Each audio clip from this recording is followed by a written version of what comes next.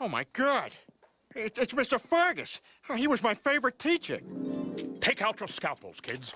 We're going to dissect a clown! well, no wonder this clown died. His lungs are filled with candy! Wow, why don't you go say hello? I'm gonna drop off some campaign flyers in the teacher's lounge. Hey, hey, Mr. Fargas. It's me, Peter Griffin. Griffin, Griffin. Sorry, not on the list. Oh, don't, don't you remember me? I was your favorite student. You taught me everything math, science. You you even taught me how to dance just in time for the prom. Well, Peter, you start like this. Like this? Yeah, now add a little turn and do a buck and wing. Come on, Mr. Fargas, do the whole darn thing.